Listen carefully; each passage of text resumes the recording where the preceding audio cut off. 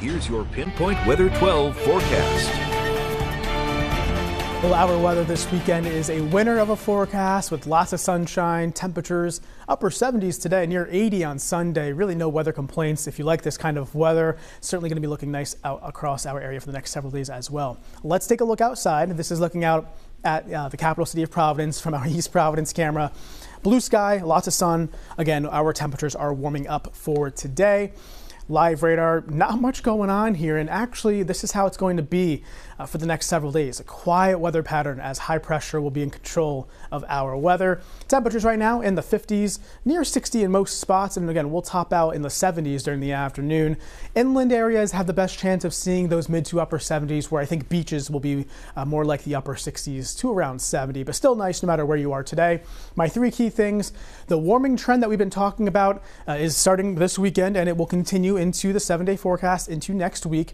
Uh, but with that said, we do have some cool nights ahead with those temperatures that do dip back into the 40s and 50s during the overnight hours. And of course, like I've been saying, uh, this weekend looks very nice. Satellite and radar, you can see clear skies, no clouds, and of course, no precipitation either.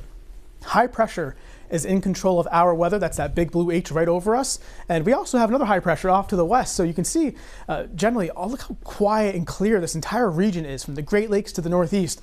So we have some nice weather in store, of course, for the holiday weekend. But there is some wet weather that we are watching uh, to the south.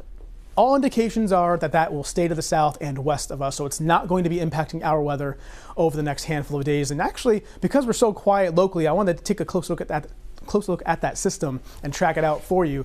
You can actually see the spiral here in the atmosphere. That's that low pressure that's making its way into the Carolinas, feeding the moisture from off the Atlantic. And it notice how the, the, the track of the moisture is further inland and west. So it goes westward versus, you know, eastward, which is typically the flow with moisture is west to east. We're staying quiet and dry though, thanks to that high pressure that I showed you. So again, we're jumping ahead to Sunday now, noontime. Still, nothing going on across our area.